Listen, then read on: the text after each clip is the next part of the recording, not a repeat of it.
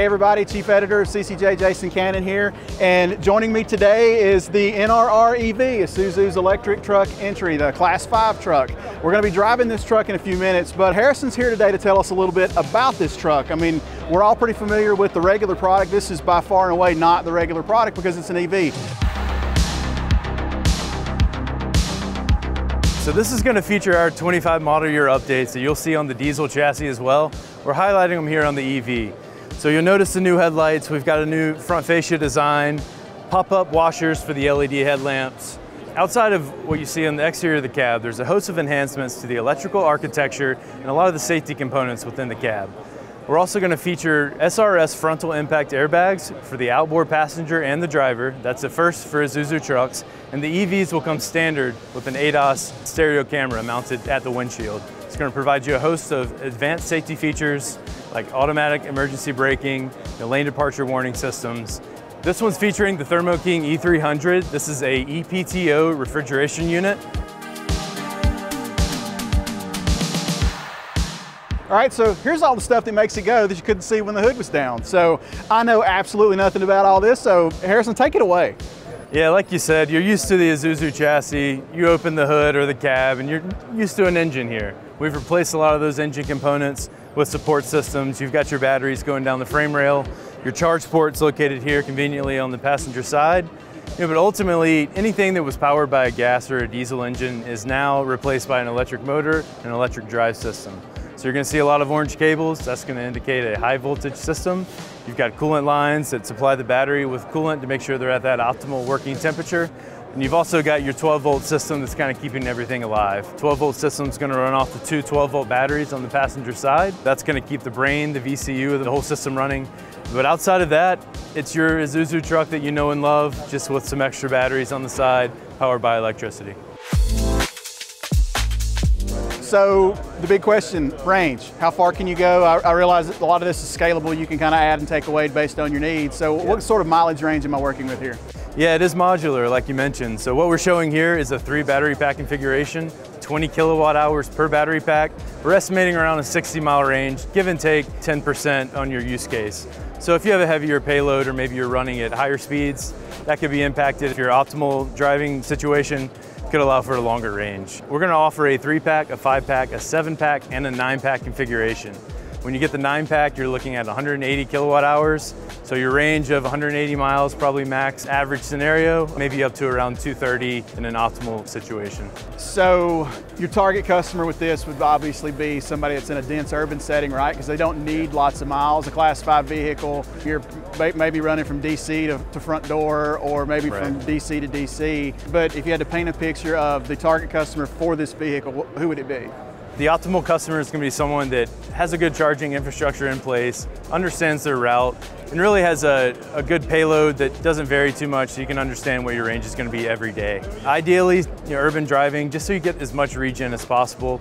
High speeds is where you're going to start seeing you know, more battery usage. If you're on the highway, you're hitting that 65 mile per hour top speed, you will be draining at a faster rate. Your air resistance is going to play in there.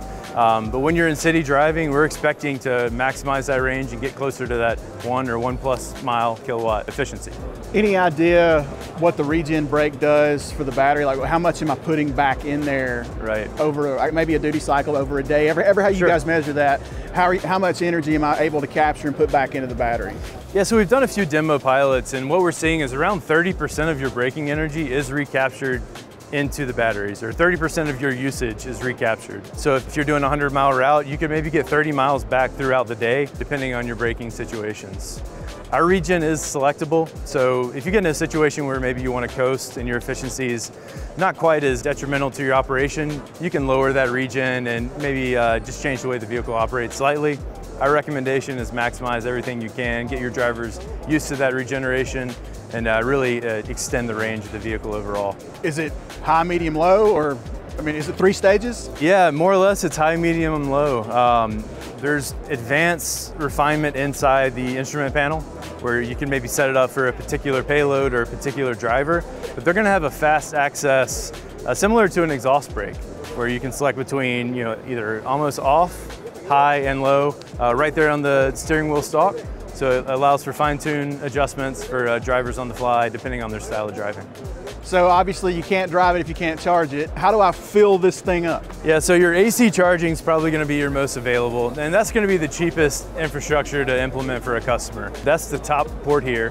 That's going to allow up to 19.2 kilowatts of charging capacity. If you have a maybe a heavier duty operation or you need a faster duty cycle on your flip between drivers, you can use DC charging to really max off the vehicle. We're saying within one to one and a half hours, you can get most of your charge back.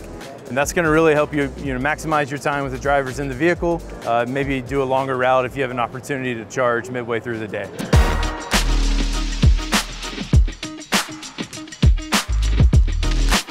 This is a pretty reasonable setting for what this truck's gonna have to do. I mean, we're only gonna make, what, three or four miles, and Exactly. that's what, 5% of the range of the low end, so. You're right. So we talked a little about regen. This stalk right here is going to allow you to select between three levels. You'll see a little triangle next to the D at the top left. Yeah. When it's full white, that means you're on the maximum available. All right, so I am on max right now. You are, and you're not going to feel a whole lot until you get to about 20, 25 miles per hour. And that's going to be where you start feeling the full curve. It's going to bring you down to about five to seven miles per hour. And then from there, you'll have to use the brake pedal to, to stop. This model has auto AC, so just like a passenger car, you're going to set your temperature, and more or less the system's going to take care of it from there. So how does things like HVAC draft against your range, or does it? If this is Vegas, it's 95 degrees in the summer, it's going to be over 100. If I'm cranking the AC on max and max low, am I taking my mileage range down? It will impact your range. And to be honest, the cab cooling's part of it, then you also have the battery cooling. To keep the batteries at their optimal condition, you're using a, a whole refrigeration loop to maintain that internal temperature. Um, so the cabin temperature is going to be part of it, uh, driver comfort, but also just maintaining the batteries where they need to be. I wouldn't say it's detrimental, but it's going to be a few percent of your range. I'll probably give up a few percent for AC. I agree with that.